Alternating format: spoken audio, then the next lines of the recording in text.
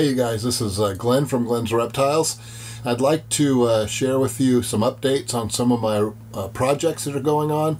Uh, some of them are um, some pretty rare animals that only a few people uh, in the country have and uh, they've grown quite a bit and so I wanted to give you an update on how things are going. Check this out. So these are my Peruvian calico snakes and uh, this is the pair and they've grown quite a bit since I've had them. Um, they are just wonderfully docile snakes. Super great to keep. Um, cute little guys. This is the male significantly smaller than the female which is um, part of what uh, is consistent with their species. Sexual dimorphism. Um, the uh, the female in my set also is a little less black. You can see the male, thinner, is more black. And he's more of a yellow gold and she's more of an orange color. But obviously very similar in look.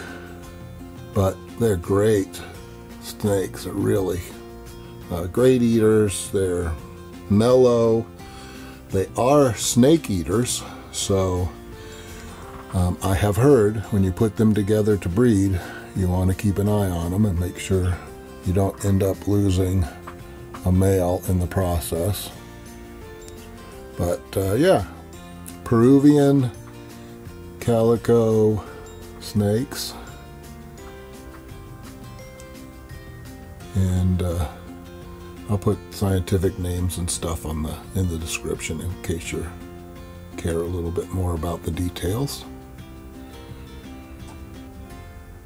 There they are.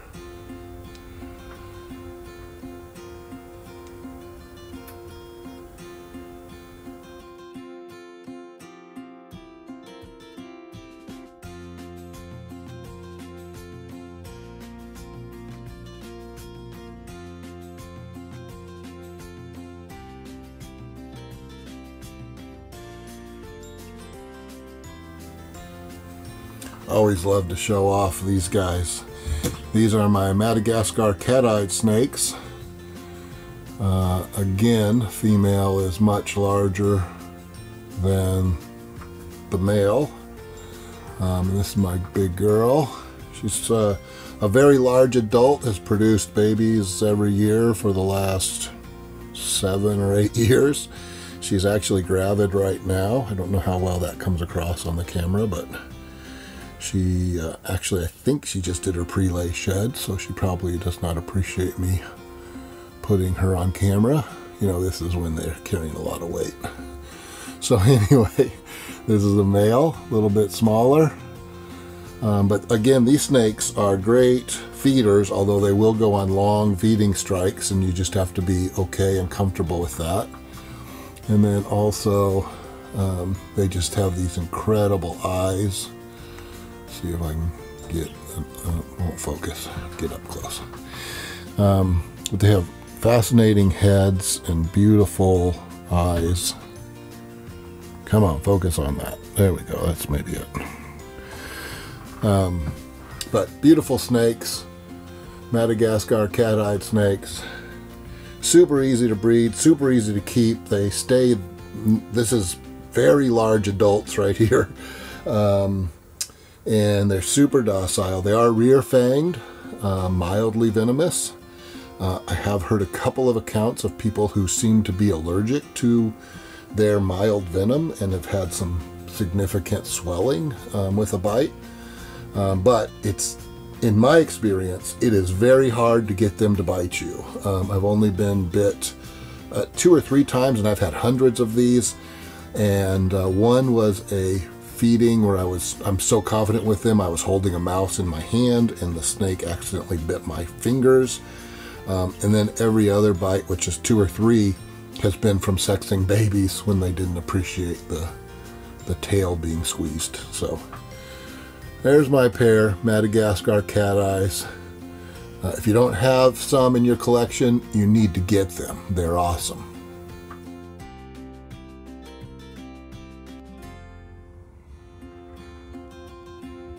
Here's a Madagascar cat-eyed snake with a clutch of eggs she's very proud of. Look at her smile.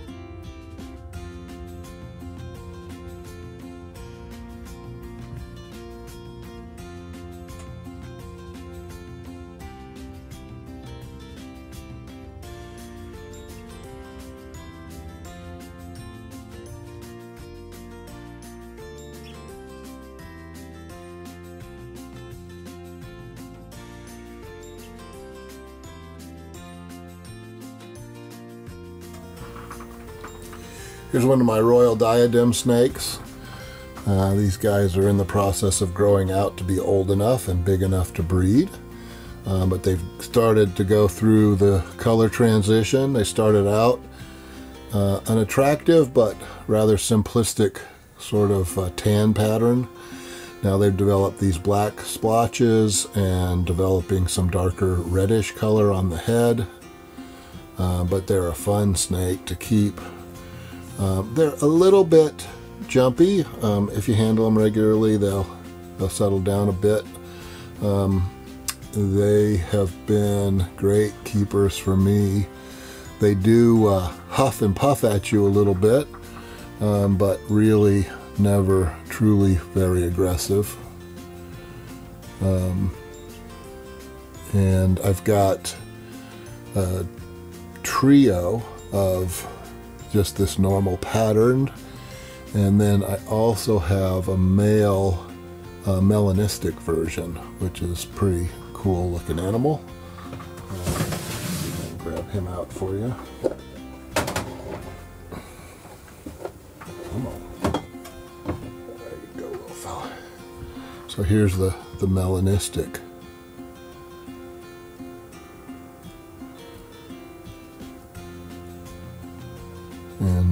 Fascinating morph of these guys. I believe he will get more and more black, but he started very similar. Uh, very, it looked very much like um, the, the the others as hatchlings, and then as they get those black spots, he just gets black all over.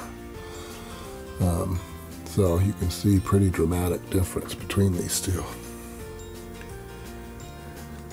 Royal diadem snakes.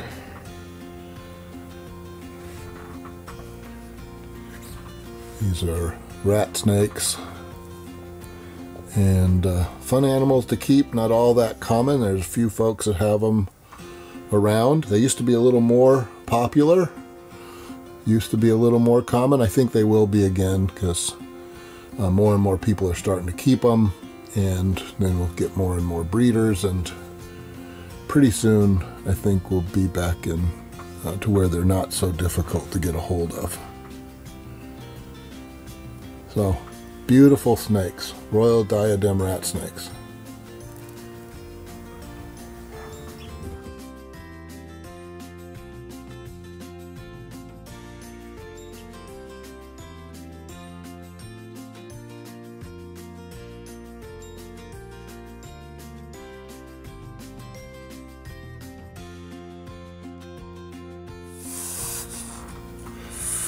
These are my black-headed spotted whip snakes. This girl is het for black-headed and she just got mad at me because she tried to get away from me and I pulled her back. So you can hear her hissing. But that huffing and puffing is uh, generally a threat and if they ever do decide to strike at you they don't really bite. Um, but for the most part it's just letting them letting you know they're not happy. So this is um, the hat, and you can see these these have gotten much bigger if you see some of my other videos of them. Um, these are my two big girls that are ready to breed. Unfortunately, last year I lost my male. So I got an, another male that I'm growing up, and hopefully next year he'll be ready to go. But uh, these guys have grown quite a bit. Quiet, I'm trying to make a video. People aren't going to know how nice you are you're all huffy like that. Them. Oh, wow, that's a good one right into the microphone. Um, so there's the normal. She's trying to draw the attention to herself because she knows the black-headed ones get all the normal attention. These black-headed morphs, by the way, do occur in the wild. This is not something that was produced through um, captive breeding. This is a wild caught variant. Um, and there it is. Beautiful animals.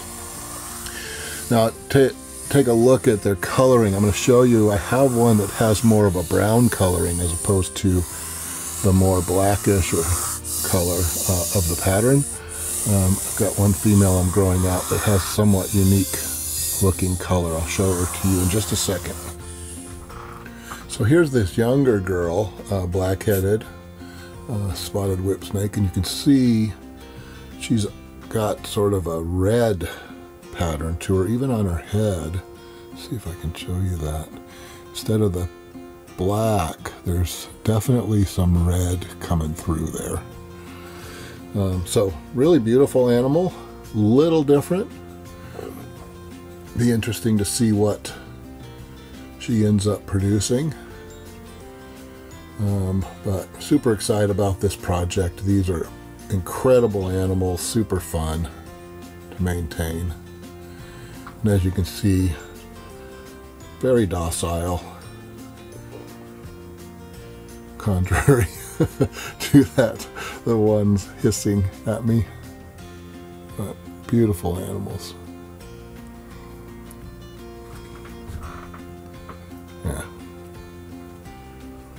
So, black-headed spotted whip snakes.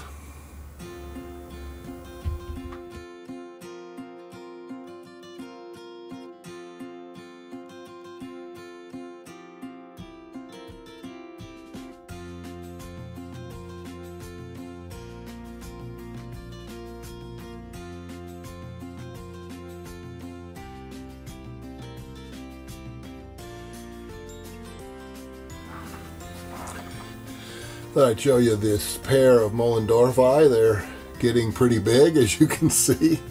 Um, eating really well for me now. Um, beautiful animals.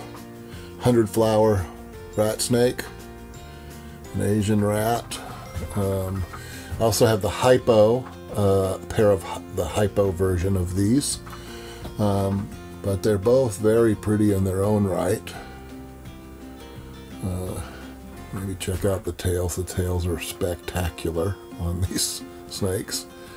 So they have red heads, um, these uh, banded red tails. Uh, they've got a variety of sort of coloration as you go down their body with their pattern. And they get to be a very good sized, pretty good sized rat snake, certainly. Um, so these guys have grown a lot since my last video of them. They are getting pretty big.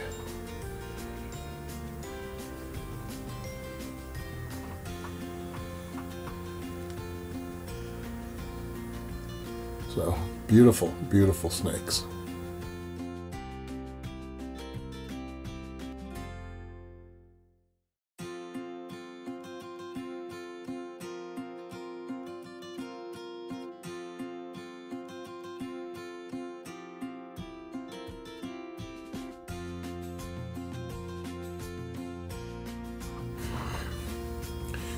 Here's a hypo pair of Moellendorffi.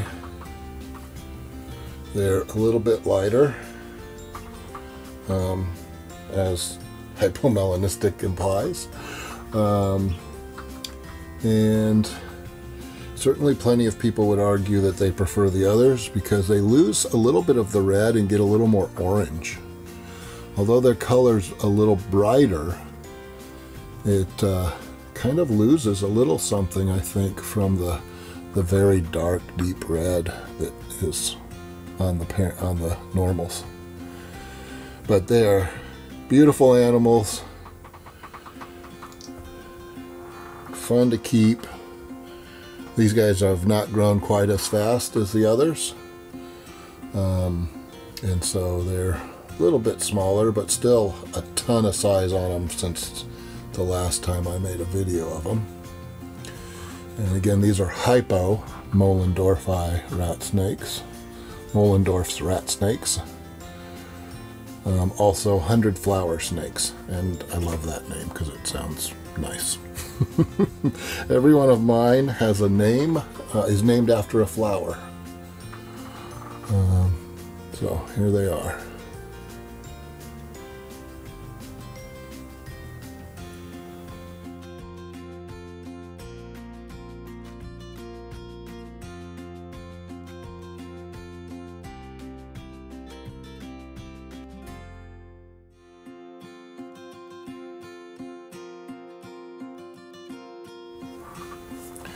Well, I'm showing off some uh, very nice, unusual colubrids. I thought I would share my blue Barons Racer.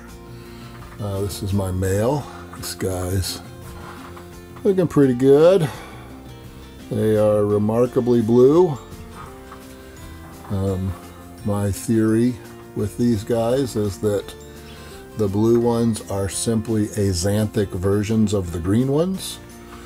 Um, meaning it's a simple recessive trait, and it also means they just have no yellow. If you add yellow to this snake, it turns green. And if you look underneath the throats of um, blues and greens, you'll see that blues have no yellow and greens have a lot of yellow. So it's a theory. We'll think we're going to be proving it out pretty soon, or disproving it, as the case may be. But Barons Racer Blue Barons Racer. Obviously, everybody loves that little nose. Got a little Pinocchio's Pinocchio nose.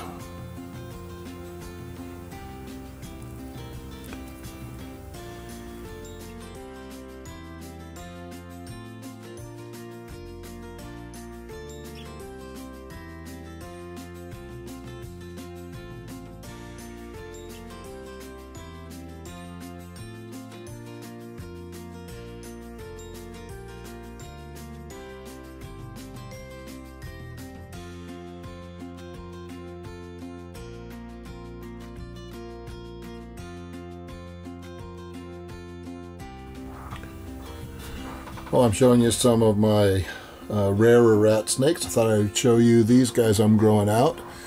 Uh, this is a Japanese forest rat snake. And uh, they are very sweet snakes and really cool pattern um, and really neat colors. Um, really nice animals. So these are Jap Japanese forest rat snakes.